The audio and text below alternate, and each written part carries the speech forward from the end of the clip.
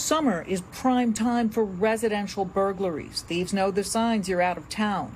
When 27 year old Jose Mazara was convicted of break ins at three Takoma Park homes around Thanksgiving last year, prosecutors say he targeted homes where newspapers and or mail sat outside the front door. About $30,000 in valuable items were taken gold and diamond jewelry, watches, and a handgun with ammunition. Police say Mazzara entered homes through unlocked windows and doors. In one case, he used a ladder he found on the property to reach an unlocked second floor window.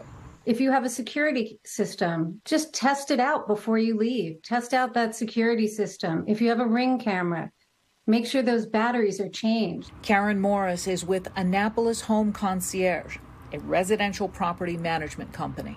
One thing that has come up lately that people don't expect is they've ordered things on Amazon. Have someone pick up your packages um, because you can't always schedule those things. Some things you can do to reduce the risk of your home being burglarized while you're on vacation include asking a friend or neighbor to collect your packages, mail, and newspapers.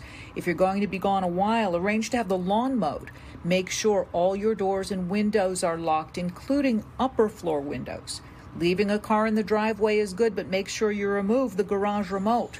Those great vacation pics on social media, they advertise that your house may be empty. Jackie Bensen, News 4.